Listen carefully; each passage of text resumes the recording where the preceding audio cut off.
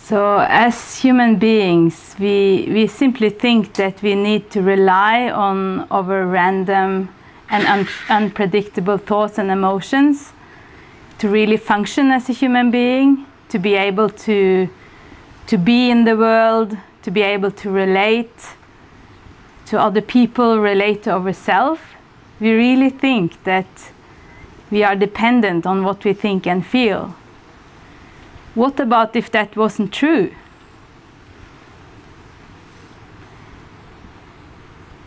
What about if there is something about us as human beings that simply know instinctively how it is to be a human being, instinctively knowing how to be and act without needing to think about it?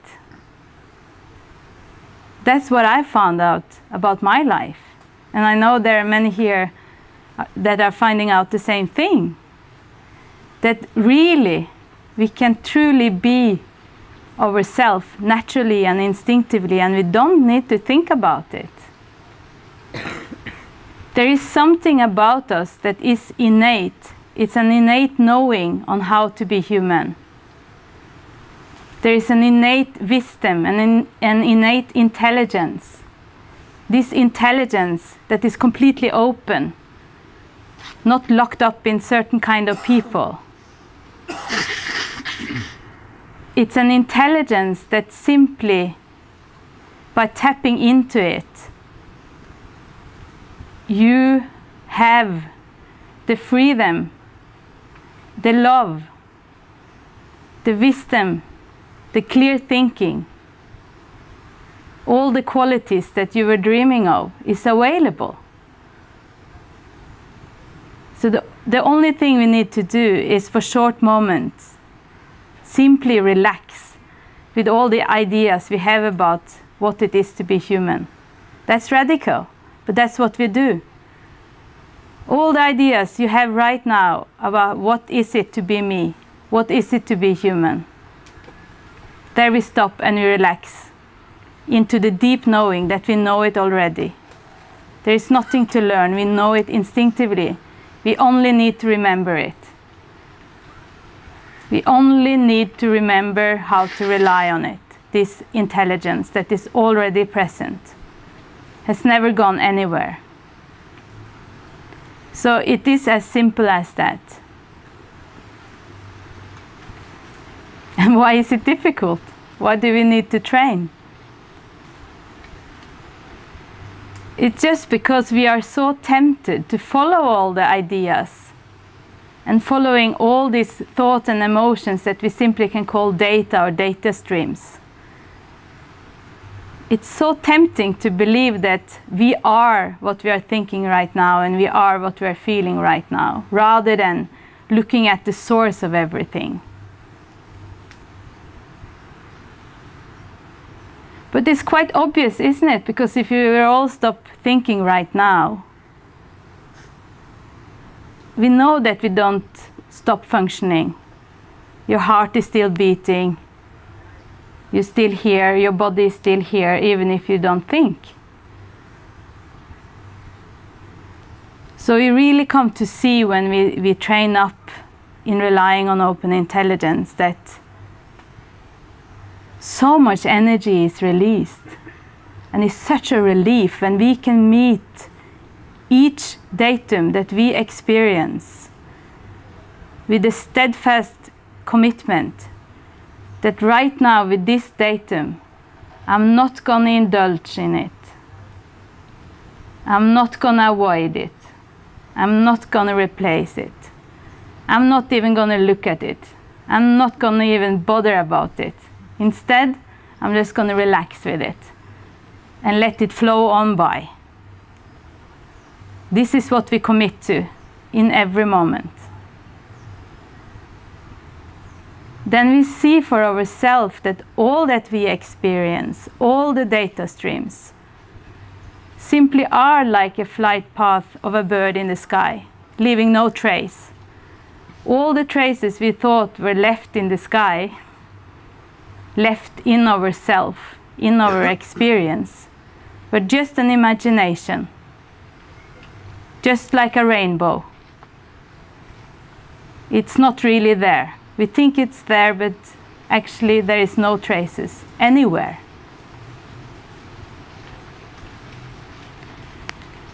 So this is the only way to truly discover the love of self. If you commit to not indulge, avoid, or replace any of your datum, you will see for yourself that you are free to love, free to love yourself, free to love everyone. The open intelligence as the perfect love is not locked up anywhere, not in a special relationship, a special person, not in special states of yourself So it's in that meeting point where you meet each, and every datum with this complete perceptual openness, with this open heart and open mind where you don't have any expectations because you know that you are safe and clear and stable no matter what comes up in life. No matter what the datum is that is in your perception right now and in the next moment and in the next no moment, you know that you are completely at home. Where in this moment you have nothing to fear and nothing to hope for, nothing to seek. What more in life would we like? To think we could get it from another person or a special place or a thing or anything any antidote. We know it not, never lasts.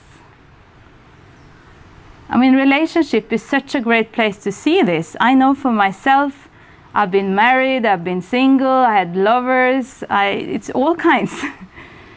and there, just to look at my own experience, I know that there was none of these experiences where I said, oh, wow, this is it. Wow, now I have it. There's no more longing for something else.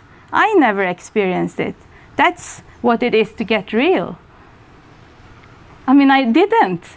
I had the most beautiful marriage, and I still think at that time I thought that, oh, no, no, no, this isn't enough. Must be something more. Or being single, all the dramas of finding someone. Uh, it's, it's, you know, we all know it, but we still don't want to believe it, right? Because it's to get real, and that's kind of painful when we see all the illusions and dreams of life just but in that pain we are safe. In that pain there is so much power. That's the pain to really connect to yourself first of all but to everyone.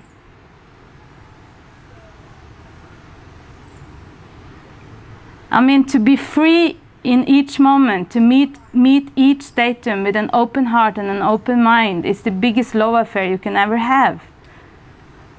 And it never look a certain way, so it's very exciting as well. never look a certain way. But it's your knowing that you are safe and powerful and that you want to, to contribute with your life to something bigger than arranging and micromanage your own datum. it's kind of limiting and boring. You know, when you kind of relax with all your own stories of your life, you just simply see that, wow, there's so much more to do in life. Wow, I don't want to be in that Nina arranging her life so it can be best for me. it starts to get boring. So when we have all these ideas of what we want to do with our life, all the plans for the future, it's, it's so much energy in that. And, and I'm a big planner. And you know, we have all different habits in our life. Some people never planned before and now they find themselves just being masters of planning. Some people couldn't live their life without plans because they felt like they didn't have control. I was one of them. So for people like me, it's been good to just really, wow, it's also safe to be without plans. So we can just test with it, but we are not dependent on any of this. But plans are really good. We can make plans and, and we can make plans with relying on open intelligence with short moments and we see that we're not dependent on specific results for our well-being. So we can just go step by step and also in relationship with our trainer. And really that is what it comes down to with, with all that we, we do in life. Like with our grumpiness or with the landlord that we we feel that we we have all these data streams around and you know we take short moments really and we see that we are not responsible for other people's data so if we want to empower other people we empower other people by taking responsibility for our own life and by standing up for that and relying on open intelligence we immediately transmit and empower everyone around us that's all we need to do in all relationships. And again, that doesn't exclude anything. We might decide that when we feel like being grumpy and we don't want to have this, you know, spilled over to everyone we meet that day, we might decide to be home, and that's perfect as well. So there is no fixed way of doing this.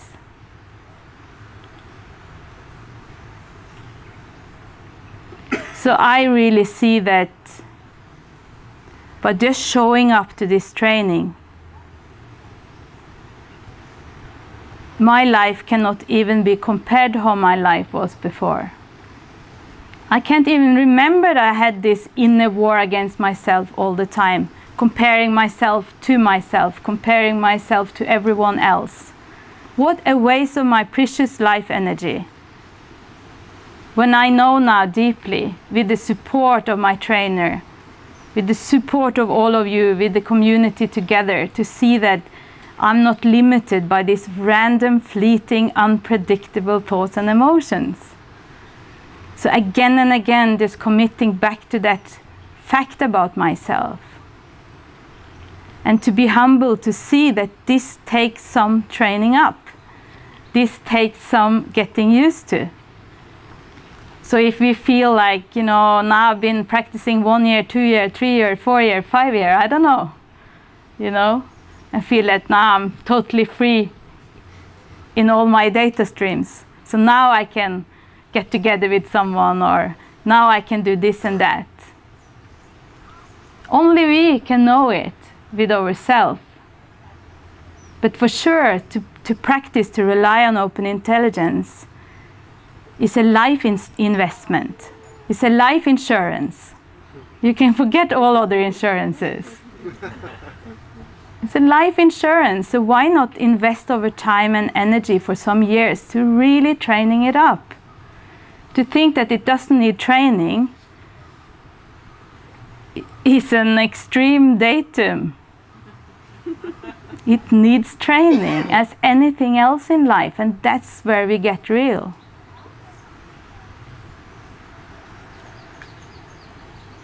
That's where we really see what the Four Mainstays truly, truly is. It's an infrastructure for a lifestyle where you are completely empowered to be free in the immediacy of any datum appearing in your life. So it's a support system and an infrastructure that really guides you on the way. So why not take full advantage of all four of them?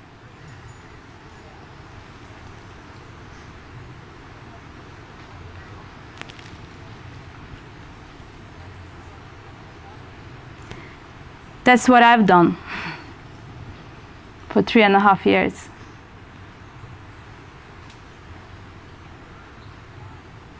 simple and easy.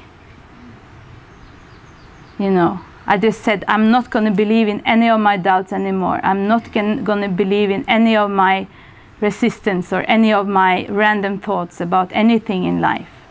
I know less and less, and I'm so happy about that. I'm so happy about that. My power is really not dependent on what I'm thinking. So I'm so happy to use the four mainstays without having any expectations of how that support should look like because it's beyond any conventional support you ever had in your life. It's not the support that you, you think you know how is. Never. It's beyond all conventions. It's beyond all reifications. So thank you for being here because it shows that you're using it.